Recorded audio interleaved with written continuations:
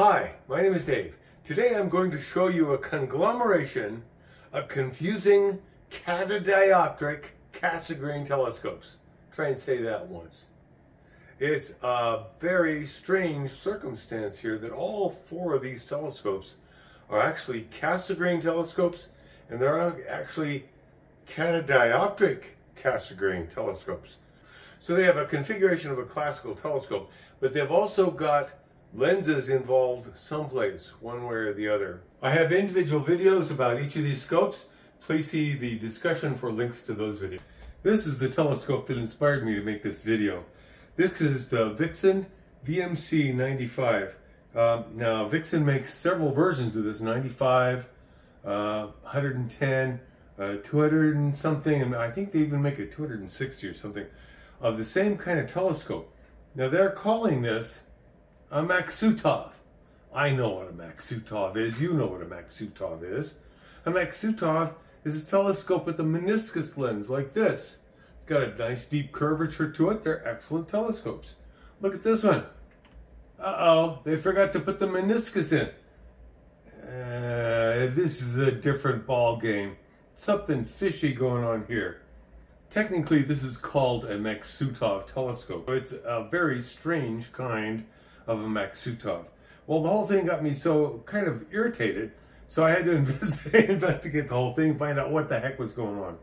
And suppose I've got two telescope mirrors here, and I tell you that one of them is parabolic and one of them is spherical. Can you tell the difference just by looking at them? Go ahead, take a good close look. Of course, you can't tell the difference just from looking at them. The only way you can tell the difference between a parabolic and a spherical surface on a mirror is by very, very careful testing. The cost to manufacture the parabolic mirror would be considerably higher. It's approximately twice.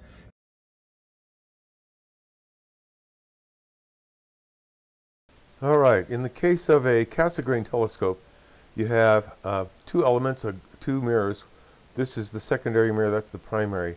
In the case of a classical Cassegrain, this is parabolic and that's elliptical and a Ritchey-Chrétien, this is hyperbolic here, and this is hyperbolic there. In the case of a Dall-Kirkham, this is elliptical, and that is spherical. In no cases are both of these spherical mirrors, so that's a difficulty with the classical Cassegrain, means that things are harder to figure. If you made these with both spherical mirrors, the telescope wouldn't be any good. The optics would be terrible.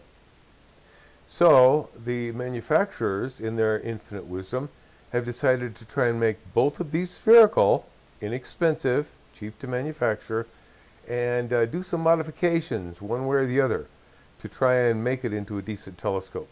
This is where the light goes in a Schmidt Cassegrain, like a little Meade. Comes in through here, bounces off.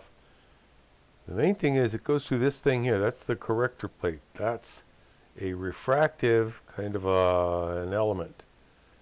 It's not a pure Cassegrain. In the case of a Maksutov, you've got a corrector plate here right in the front, very thick corrector plate.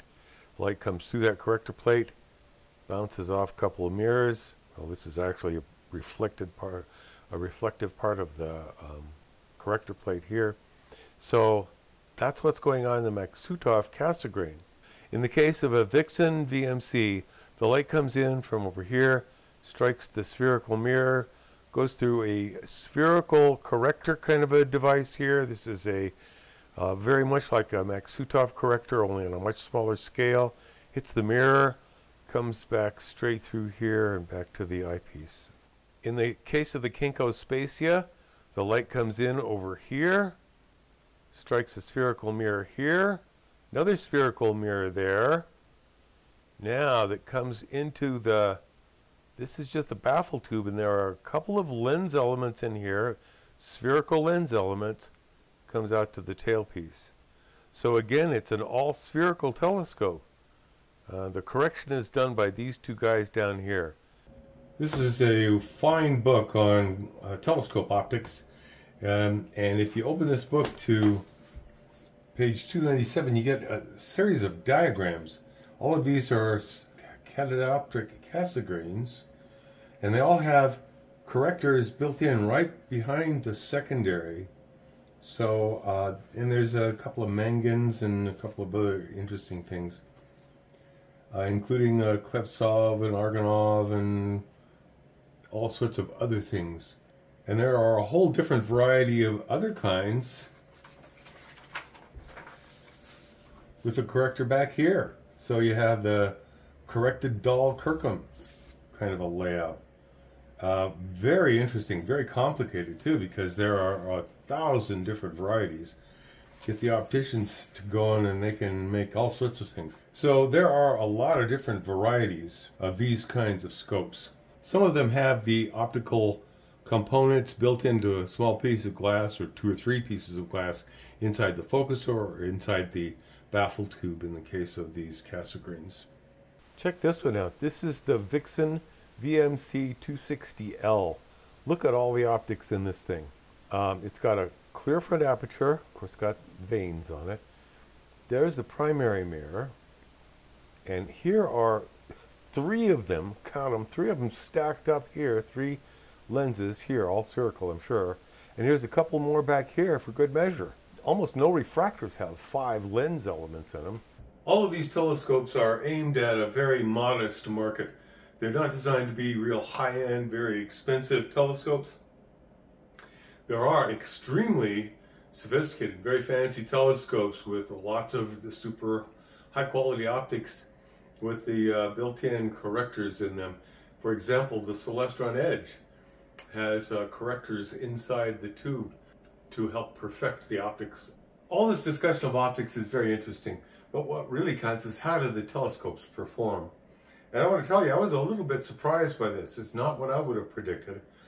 Um, both of these scopes uh, perform quite well. This, this one, despite that huge secondary obstruction, I mean, it loses contrast. It's not a great telescope. It's got the corrector down in the baffle and stuff. I expected this to be a Jones-Bird kind of a telescope. Really pretty, not great. Uh, but it performs pretty well. Uh, this one performs okay. I would not say perfectly though. It's not bad. It's just not bad. But not a beautiful telescope. Um, just okay. This one, not great. now this is a Maksutov, a traditional Maksutov. I'm very familiar with these. And um, I even double checked myself. I did a sanity check to make sure I was correct. Uh, I compared this with my uh, Questar, and when I compared it with the Questar, this thing just didn't quite stand up to it. It did have a lot of spherical. It's not horrible, but just not great. Nothing like you would expect from a typical good quality Maksutov. The little Meade here performed just fine. It was a nice little scope. Nifty little scope comparable to, uh, uh, very similar to any other Schmidt Cassegrain you've ever seen. Just kind of real good, does the job, uh, doesn't do anything, doesn't blow you away, just does a pretty nice job.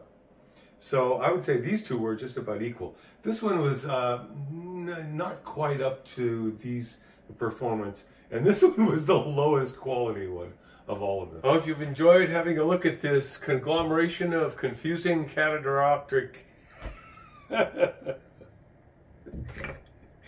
I hope I hope you've enjoyed having a look at this conglomeration of confusing, uh, geez.